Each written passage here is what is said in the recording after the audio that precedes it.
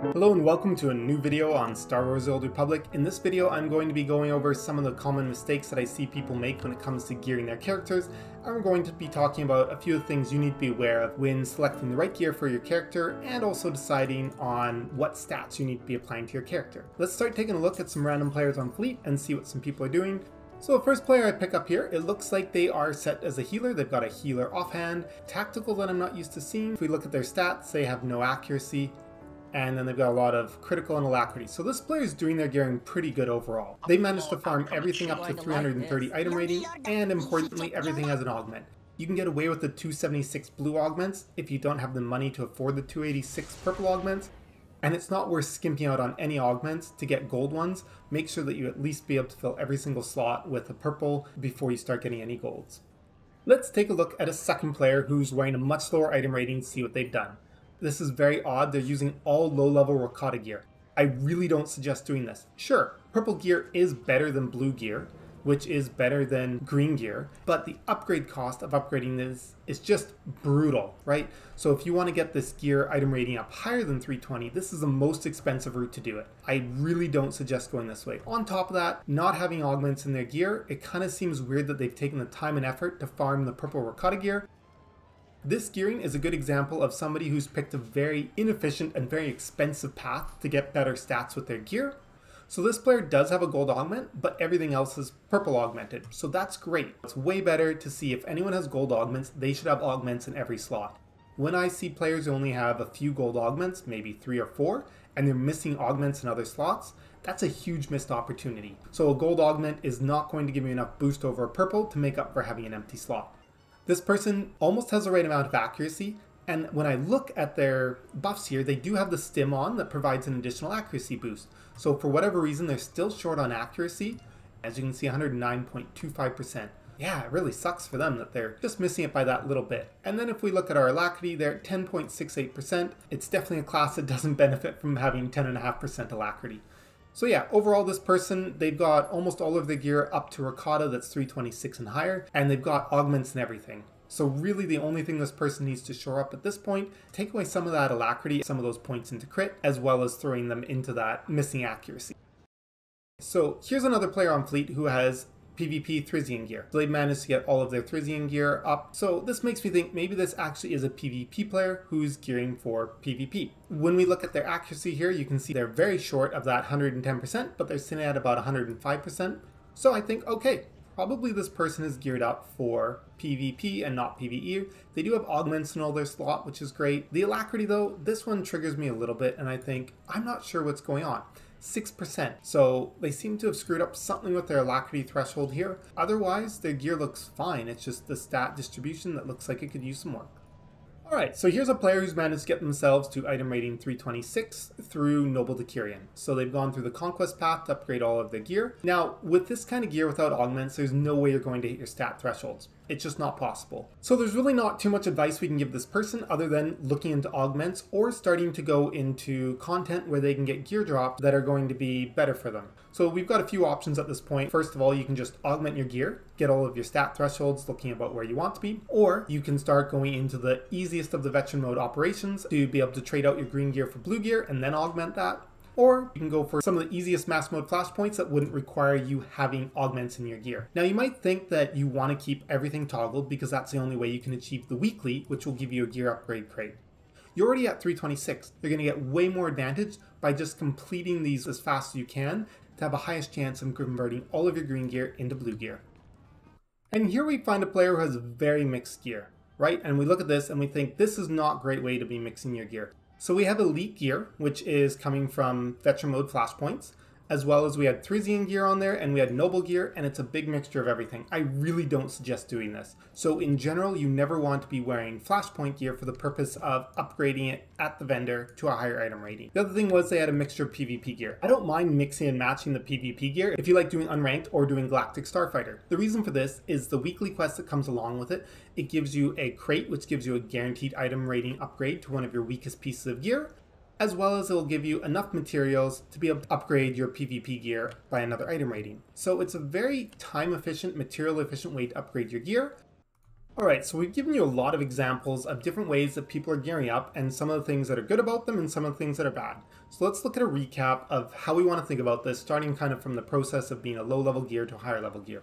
So at level 80, when you have 200 medals of accommodations, go and buy your 320 gear from the vendor that I'm standing in front of. So if we open up our map on Fleet, you'll see I'm in the supply section in this room in this corner. On Imperial Fleet, it'll be at the top of the map in this room in this corner. Even if you plan to PvP and upgrade your gear through PvP, just get the 320 gear right away through the Conquest vendor. The other cardinal sin is don't ever spend currency upgrading your Elite Decurion gear from Flashpoint. So this is the green Flashpoint gear. It's just not worth spending any currency upgrading at all. When we talk about getting our item rating up higher, we always want to be using green conquest gear or PvP gear as we upgrade our item rating to 324 and potentially even 326. You can use the PvP Thrizian requisition crates at any point to convert your 320 plus conquest gear to PvP gear and then spend your currency upgrading it at the vendor. This is why we buy 320 conquest gear initially and we don't worry if we're planning to do PvP Another little tip when it comes to the crates, if you happen to complete some of the weekly Master Mode Flashpoint or Veteran Operations and you get yourself a Supreme or Kalumi Requisition Cache, just save these and don't open them up until item rating 324, as you really don't want to be spending currency upgrading blue items. If you are going to drop yourself in the queue for Master Mode Flashpoint, or you're going to group up to do Veteran Mode operations and you aren't wearing augments, make sure that you're only going with stuff that's at appropriate difficulty level for the fact that you're going to absolutely suck without having augments in. So when we think about doing operations, if you're going to do Eternity Vault and Karagga's Palace, you're probably going to be okay. Anything else, I wouldn't really suggest it, as you're probably going to cause your team to have to carry you exceptionally hard, and chances are they'll get frustrated and remove you from the group, and you won't get the weekly anyways.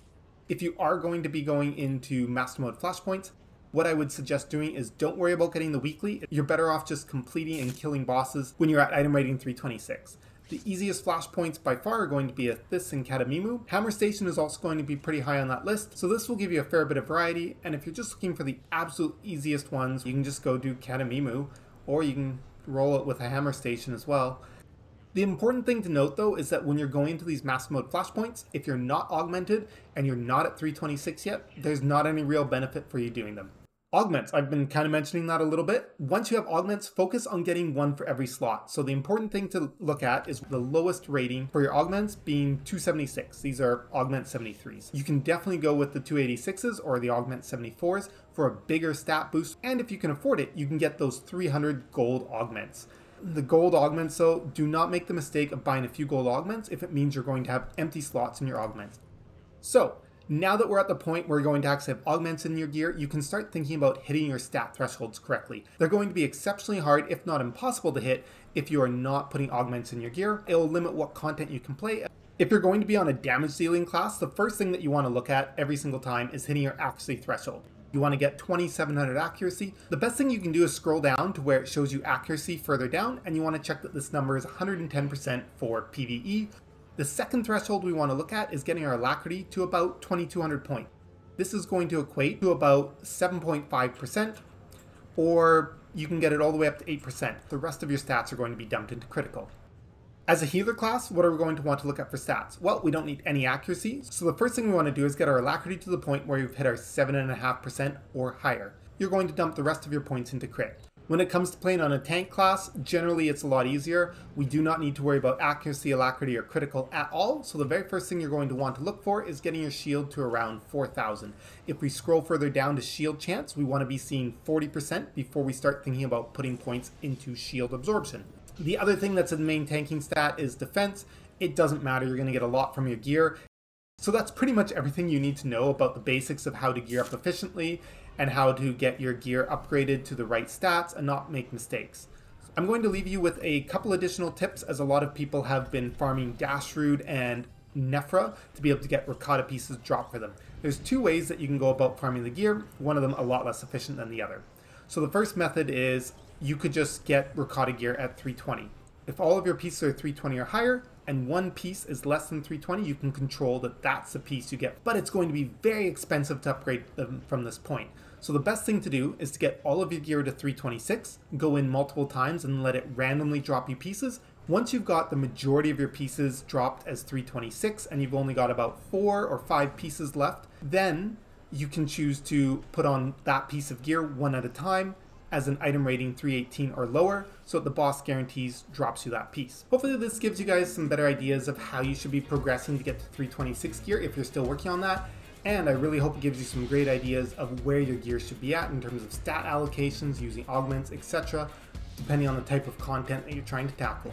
As always, have a great day, and we'll see you in the next video.